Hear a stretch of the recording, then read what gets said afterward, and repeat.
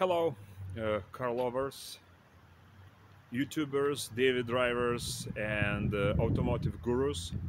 I believe I have to share this information with you about my experience with the Dextero tires. And I posted a video about a year ago about what happened. And if you watch it, uh, think twice about uh, buying Dextero tire. I believe you will get some information. The first information.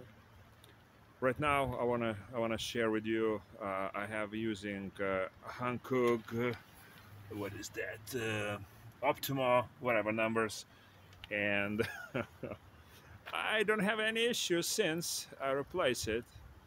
It has about the same mileage, I believe, uh, around 30,000 miles, and uh, everything good.